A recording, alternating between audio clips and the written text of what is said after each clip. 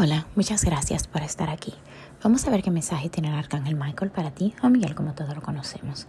El arcángel quiere que tengas un mensaje de dejar de preocuparte, que las cosas se van a solucionar. Veo que entras en una etapa de amor romántico o una reconciliación en una conexión que está en pausa. Puede ser que no haya conversación o comunicación, pero veo que alguien quiere dar los primeros pasos para que la situación se alinee. Lo único que te aconseja el arcángel es que mantengas el equilibrio.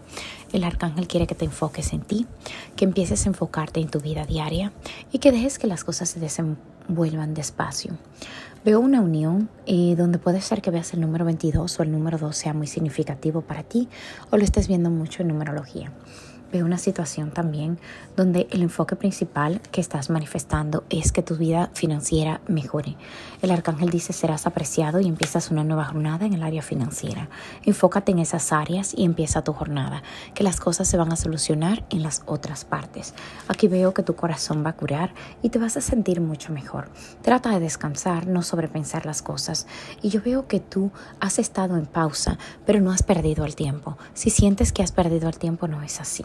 Aquí veo que tú estás ahora tomando un tiempo para ti y va a haber una recuperación. Hay una decisión que va a ser tomada y es algo que estás manifestando en cuanto a esta persona en específico, ya sea recibir una persona con quien compartir tu vida o que alguien rompa el silencio. El arcángel dice, empieza a enfocarte en ti y empieza a enfocarte en tu entorno. La petición ha sido tomada. Cuando alguien toma una petición, un arcángel o tus guías espirituales, ellos empiezan a ejercer situaciones que van acomodándose a tu vida para que la vayas recibiendo. Todo lo que no esté de acuerdo con lo que estés pidiendo va a irse alejando. Aquí veo que hay una situación donde vas a sentir más paz en el área emocional, donde lo que tú sientes que ha sido de separación, que ha sido de daño, va a abrirte puertas y también veo una reflexión para conocerte más a ti mismo. El arcángel Miguel quiere que sepas que tú eres creativo, que vas a recibir buenas noticias para ayudarte a crecer en el área de las finanzas, que tú vas a tener un hermoso nuevo comienzo y viene una propuesta de amor que va a ser no solo apasionada, sino algo muy hermoso que va a activarse en ti y va a mucho en tu vida.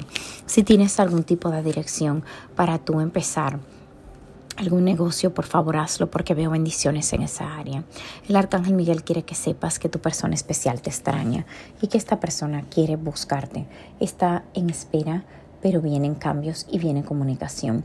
Me muestra el número 11, no sé si es el día 11 o en 11 días, pero sí veo el número 11, también el número 21. Sería significativo para ustedes de alguna manera.